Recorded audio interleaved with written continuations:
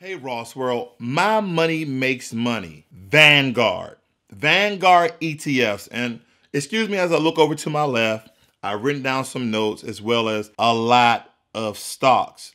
So, first and foremost, you can go to HH, https investor.vanguard.com forward slash ETF and all the other jazz. Okay, I'll leave the link in the description for you to reference this for yourself. Now, the reason why I like ETFs, and let me get to my notes here. Excuse me as I look over. And I'm going to read this is right from www.fool.com. It says ETFs generally have a slight advantage when it comes to annual expenses ratios.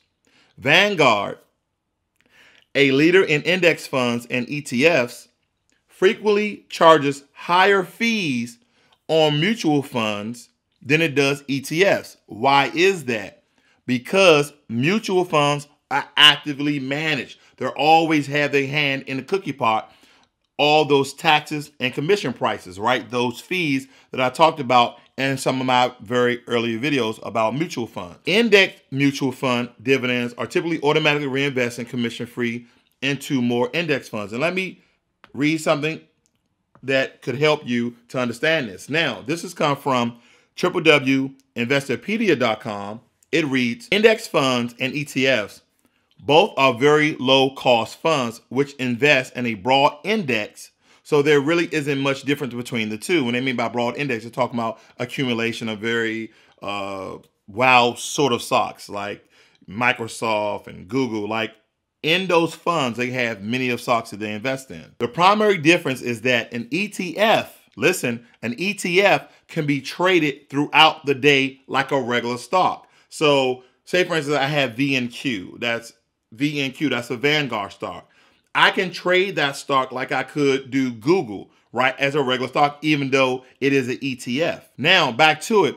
Whereas a mutual fund can only be bought or sold at the end of the day's net asset value. And that also includes, they're talking about index funds. So ETFs, you can trade like a stock throughout the day. And index funds, you have to wait at the end of the day, which you're buying or selling for the NAV, the net asset value. All right, so let's get into some stocks fairly quickly. Go and take a moment and grab your paper and pen or pause the video. so I'm gonna give you some tickers. Now, it's quite a bit but I'm gonna try to do the best I can because I'm gonna be flipping back and forth so you don't understand that. First and foremost, all of these are ETFs. They are they're in different asset classes, and I'm gonna let you know that. And all of them have dividends, and we love dividends. This is for the 20 year old investor. This is for the 30 year old investor. This is for the 40 year old investor, and this is some 450 year old investors, especially if you buy a thousand, you buy 200 of these stocks. Because one of my ETF stocks from Vanguard, one paid me a dollar and 26 cent, and it was under a hundred dollars. You're trying to figure out which one that is. I just told you, VNQ. Anyway, here we go. Stock ETFs under Vanguard, they're large cap ETFs. So the ticker for this one is VIG, and it means the dividend appreciation ETFs. Now, a lot of these names are going to be pretty weird, but I'm going to give you the meat and potatoes of this. Now, all of these ETFs are in the large cap asset class. Since inception, okay, you're going to hear me say that a lot. Since inception, this particular ETF has 8.54 return. Remember, I always say that ETFs, index funds, over the course of time have always had seven or above. Here's one of them 8.45%. The next one, Growth ETF, ticker VUG. Since inception, 8.93%. Next one, High Dividend Yield ETF, ticker VYM. 8.20% since inception. Large Cap ETF, ticker VV. Since inception, 8.75%. You'll get where I'm getting at. I'm not going to keep going down. I'm going to jump down to some of the juicy ones. Here we go. Mega Cap Growth ETF. I like this uh, ticker, MGK. You know what I'm talking about. 10% since inception. We're talking about what, ha- what it has been returning year after year since it's been developed, since it's been created on the market. Here's another one. S&P 500 ETF. That's VOO 15.40%. Okay, moving right along, we're going to move to the next section, which is the asset class is the mid cap, okay? The mid cap. Now, all of these are 9% point something. So I'm not going to read since inception. Just know that all of these have been returning 9 point something, okay? So over 9%. Extended market ETF, ticker VXF. Mid mid cap ETF, ticker VO. Mid cap growth ETF, ticker VOT. Mid cap value ETF, ticker VOE. Did I already say that? Or was it VOT? Moving right along to the small cap asset class of Vanguard's ETFs. All these acronyms, right? Small cap ETF. Since inception, okay, small cap ETF ticker is VB. Since inception, 9.54%. Small cap growth ETF, ticker VBK, 9.39%. Small cap small cap value ETF, ticker VBR, since inception 9.45%. Okay. Now, they also have international ETFs. These are very important. These are very important, okay? Because you want to have diversification. You want to invest in the American stock market. You want to invest into the international stock market. You want to invest in China stock market. Who have a stock market, invest in it. So I'm going to tell you this, a great stock to invest in um, right now for the next, in my opinion, the next 10, 20, 30 years, because just about the amount of people they have and the amount of commerce that they have, Alibaba. I have an Alibaba stock and I've nothing but made money. Now, of course, every day goes on this roller coaster ride but I've only made money. Check out Alibaba, diversify your stock portfolio. All right, here we go. Emerging Markets Government Bond ETF. That's VWOB since inception, 4.86%. Now, if you notice, these are going to be a lot lower. There's even one called the FTSE Developed Markets ETFs, ticker VEA, since inception, 2.05%. Not juicy at all. But here's a good one International Dividend Appreciation ETF, ticker VIGI, since inception, 18.43%. Can't argue with that. Can't argue with money at all. I just went to a few of them. Now I'm moving on to the sector and specialty ETFs. Consumer Discretionary ETF, ticker VCR, since inception, 9.79%.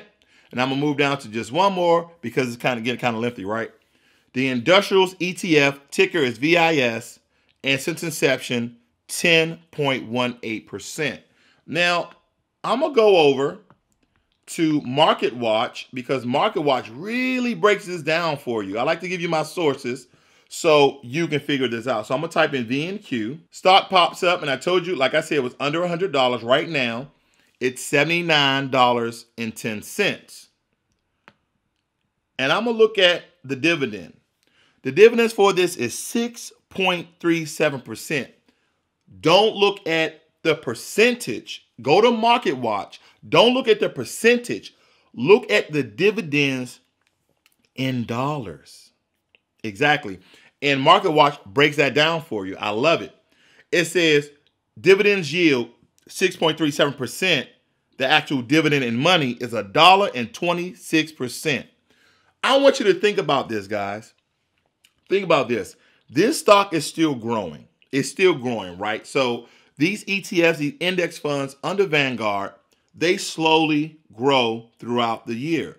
So the, the, the volatility of it is low, but even though it's showing growth, you're still getting paid every quarter three or four months, whatever this particular stock is, those dividends.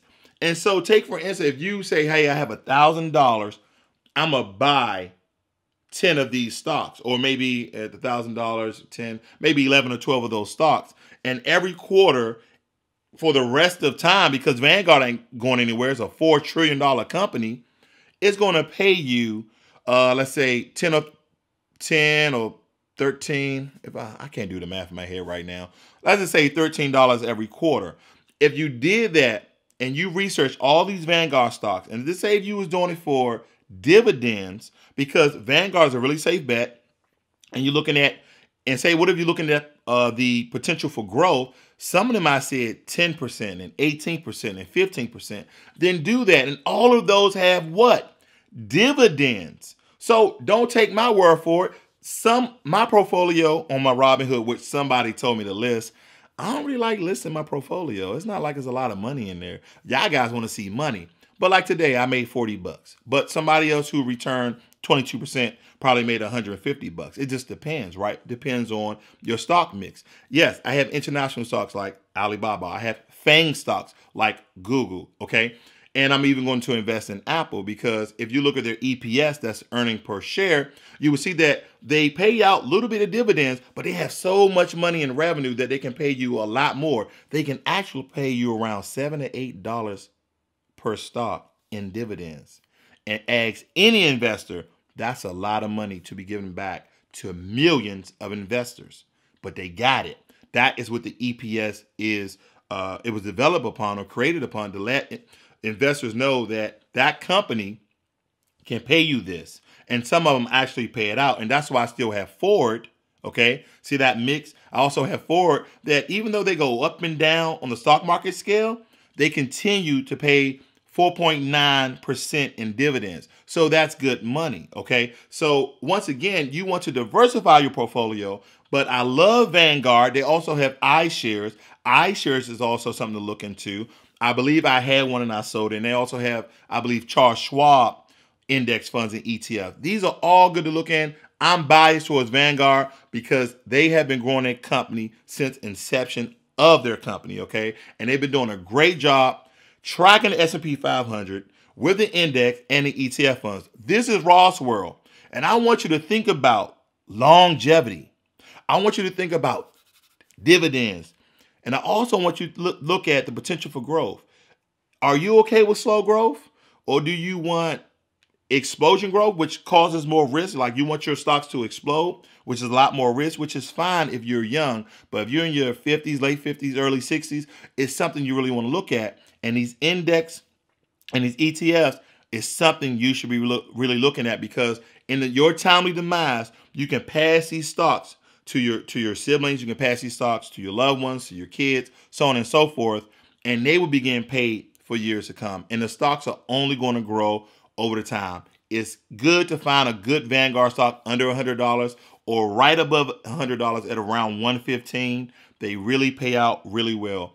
This is Ross World. I've done the research. I didn't really do my whole class here, guys, because it would have been so long, and you'd be like, I hope he just finished. Oh my God. He gonna tell us every stock, every percentage, every since inception. I know. This is Ross where I love teaching you guys, and we are family, and go out, make some money. And it's 2018. You know what I'm saying. Get out of debt. I'm out.